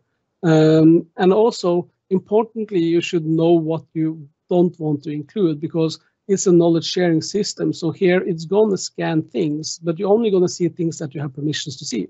Uh, because uh, you will never see things that you have no permission to see. So it's a little bit kind of like the the delve and the graph, you know, that uh, it's using the, the SharePoint uh, permissions and read it from there. So you should never see things that you don't have permission to see. Uh, but still, it might be uh, like a legal site or an HR site that you for sure don't want people to find. that you need really to then kind of make sure that doesn't show up when you are uh, going into Viva topics, and you can configure that so that it will not scan a set of sites, for instance. Um, I will actually not go into those things. I will show it to you instead because we only have, I think, seven minutes left. Um, that's why I skipped also too much about learning because it's so many. You, we can spend like one hour on each of these topics, you know, and, um, and let's just go now to look a little bit around uh, the topic side of things. So first of all, when you are installing Viva Topics, you are getting a site that will have all of your uh, topics uh, inside of it because every topic will have a page. Uh, and uh, as you can see here, uh, I have my digital service initiative. And um, here I can go in and I see that uh, I can pin people because I can go in here and edit this page. So for instance, here I can go in and this is a topic that I have, Digital Service Initiative. It has an alternative name so uh, that I, I, can use so I can find it also by the alternative name. And here is kind of the short description and I can pin different type of people here. Uh, that should be people that are knowing this topic. Uh, and then you can see that we have a set of pin files and pages, but also the AI are actually finding suggested files and pages. So as a con content um, uh, or as a kind of Viva topics moderator or how to call it, I can go here and pin those uh, topics and then they will be here in the pin files and pages instead. But all the time, new content will come here if people will add new pages and all these kind of things. And it's the same for related sites, is also finding those. We can also go in and actually connect uh, the topics to another topic for because maybe the topics are related. Uh, for instance, here I could have created an M365 topic and I can go here and create this as a new one. And M365 UK was uh, blast. uh, and I can create this topic. And now this uh, will be connected together, uh, which you can see that uh, we can really build those topic maps, uh, uh, which will help our employees to find topic that is related and to find content that is important for them and will be able for them to kind of not spend too much time searching for the content. Um, so if I will now go to um, my site that is called operations, it should be. Uh, so let's just, uh, and actually one thing I can show you before is that if I go here to, to the manage topic page, think I have it open up uh, over here, you will see that, for instance, uh, uh, what is happening here is that when you are installing it, it will scan your uh, topics. And you will see here that this is all the topics that is in my environment. And you will see an impression. So that means that how much this has been mentioned, a little bit like Google, you know, and the more it's been mentioned, the higher impression it has, which means that you should consider creating a topic page for that. Uh, so that means that, for instance, if I wanted to take this European expansion and make this into uh, a topic that people we will uh, uh, we will kind of use, then I will just click confirm here. And now it will be coming over in the confirm list. And of course, from the confirm list, you have to go in and publish it. And here, different people has different permissions and can do things. So, uh, but here you will see that this is kind of, when I clicked it, you will see this is kind of how that topic card will show up in, in SharePoint search and in SharePoint pages right now. This will also later on be visible and available inside of Teams. And so if someone will write uh, inside the chat of Teams like DC 1000, uh, we will get this topic card as you can see here. Inside of Teams, if I will search for it, I will get the same topic card and, we will see the different resources and everything from there. And I can click here to view the details and I will go into my topic center where we'll find all this information uh, as well. Uh, so that is quickly, briefly about um, the Viva topics. But one thing that I can show you as well, if I find my page that is open before we will close for a couple of questions maybe, uh, is that um, when it comes to, to Viva topics, you can also go in and configure who has access to this. So for instance, if I will go here, uh, and actually now I'm with the wrong profile, so let me just go and be with the correct profile. Uh, so here you see we have the topic trial set up. Uh, but you need to go actually under here and find uh, under the setup. Um, you should go and find what is uh, called files. Down here, you will see that we have what is called uh, files and content, and here we have connect people to, to knowledge. This is actually how you can go in and configure the Viva topics afterwards. And I will just need a, there's a wizard when you set it up the first time where you set all those things. But here you can see that I can go in and look at the topic experiences. So for instance, if I want to not scan everything, I can go here and do that. So you see here, it has uh, only selected sites from a CSV file. But if I wanted to scan everything, I will just do this one, or I can do everything except the selected sites. Uh, so that's one way to do it. Uh, also, we can see that we can go in and select some topics that we don't want to, to scan. For instance, maybe that's a sensitive topics that we don't want to have here. Uh, and of course, here you see that changes here are only available after 24 hours. It's actually going to take like two to three weeks for Viva to topics to scan your environment. So after you set it up, don't expect things to show up immediately. It's going to take time before everything gets scanned. Uh, and you can also see here that the topic visibility is something that you need to pay attention to because when you start to roll this out, you want to select just a selected few first, either from the security group or selected people, or you need to be paying attention here if you don't want to pay a license for everyone in the organization. Uh, and then permissions is the same, who can create and edit topics. So here you will see that everyone in my organization can do it. This is always kind of maybe not how we want it you will probably want to have only selected uh, people or security groups, uh, and uh, the same for the managed. And here you will see the link to my topic center, and all these things are kind of configurable from within here. Uh, so that was kind of a little bit into the topics, and there's so much more uh, to cover there, uh, but I do have all my slides with all the resources. I will share those. So this was kind of a introduction to that. And uh, yeah, let's uh, let's uh, play around with it together. And if you have questions, feel free to, to reach out. And Chirag, maybe we have some questions right now. Great stuff. Thanks, Knut. That was a great session. Really, uh, really kind of, you know, nice and neat to fit all the content, uh, at least the four areas of Microsoft Viva into one hour or even less than that. So great job. Thanks once again. Um, yeah, we got uh, we got a question, and we'll probably just give a couple of minutes uh, for uh, anybody who wants to uh, add more questions. So yeah, um, on the subject of Viva topics, uh, there was just more of a clarification, really, to say that it's is it more like Delve, if you like, the topics, the topic cards you have. Uh, I think it's kind of. Um uh, Delve 2.0, if you would ask me, you know, it's like uh, it's a better way of uh, making Delve than how Delve was before because uh, you know what uh, Delve was a good idea, but I think the UI was not the best from from how Microsoft built that. Uh, but but it has nothing to do with Delve. So the only reason why I mentioned Delve is that a lot of organization was really scared to start to use Delve because there was like seeing content there that they didn't expect to see there. But that was not the fault of Delve. That was the fault of uh, permission being set by the uh, administrators or the people using it in the organization because uh, Delve only showed stuff that you have access to. Mm-hmm. So, uh, so it's the same with with with Viva topics. Is that you will actually understand and see if you did something wrong with your SharePoint permissions because then suddenly stuff will start to show up in, in, Viva topics. Uh, so, uh, but again, you need to uh, create your topics. You can create them manually, or you can wait for kind of uh, uh, the AI to scan them and suggest them, as I just showed really briefly. And anyways, people has to go in and confirm them and publish them. the topics are not going to be shown otherwise, but uh, content that uh, is uh, somehow connected with with the, the topics, they will show up automatically based on your permissions.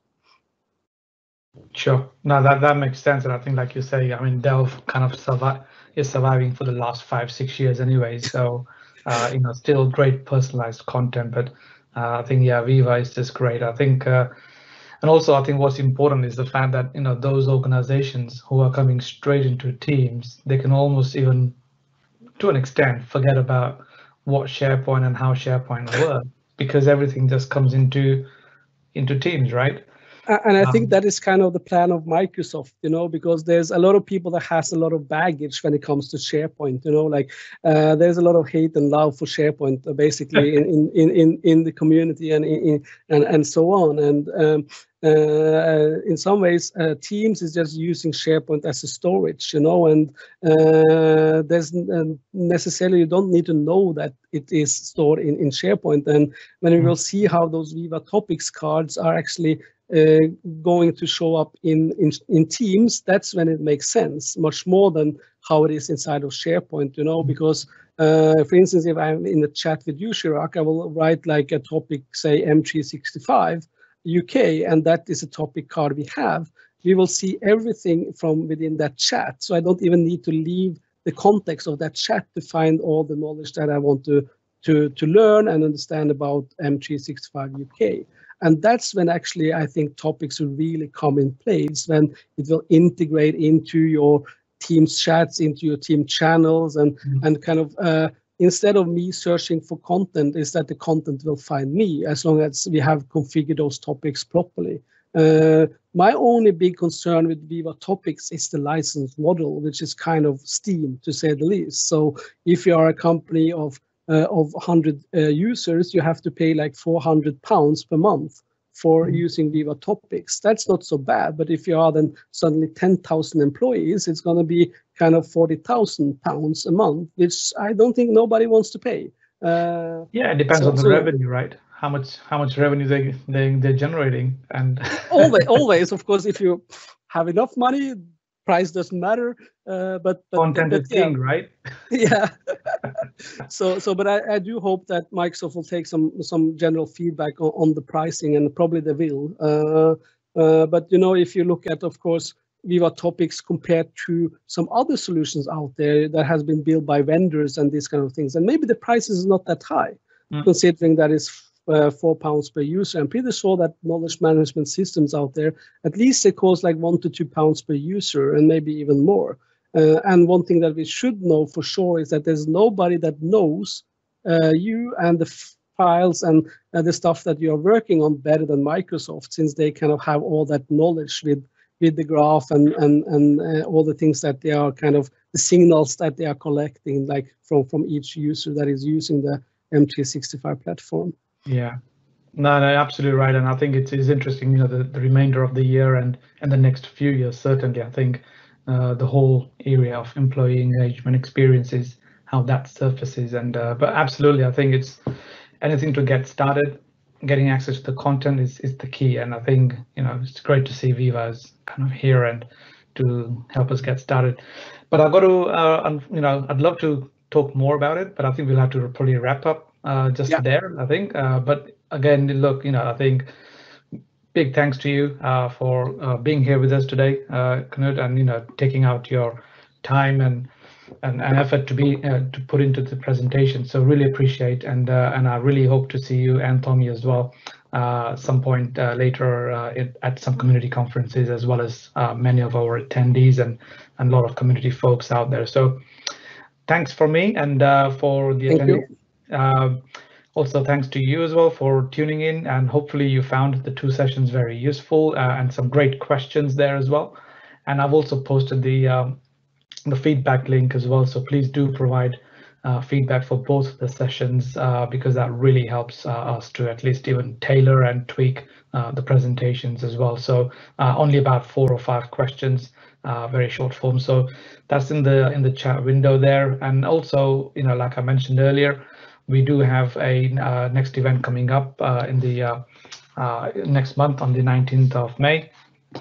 And so that's again, you know, a very good topic areas to to look out for. So really looking at OneDrive, everything and anything about OneDrive, and that's that session's been presented so many times by Hans, and every time when I watch or tune in, it's just so interesting to watch and learn and think. So bring your questions for that, uh, but also the great uh, session as well from the uh, the PNP uh, community members as well, who's looking after uh, the SharePoint teams, the areas sort of thing. So again, you know, some of you may be already aware of that because they do regular uh, calls.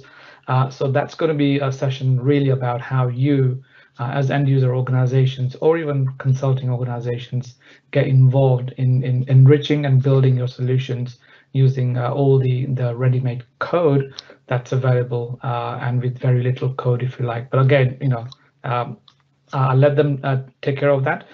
Um, but other than that, I think I uh, just want to say big thanks to everyone and uh, links are there on Friday. Look out for the M365 UK YouTube channel. So the session will be made available and the slides. And once again, my thanks to Thomy and Knut for being here today. And for everyone, be safe and stay well. Thanks.